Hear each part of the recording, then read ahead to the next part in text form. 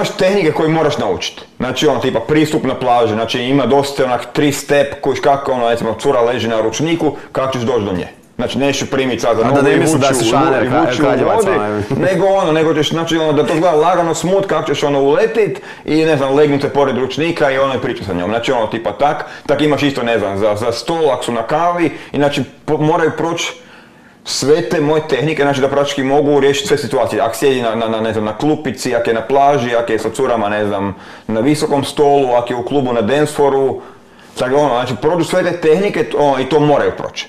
Znači to moraš imati da znaš kako lete dvije cure na danceforu ako pleše, kako ne znam, ako stoje na šanku.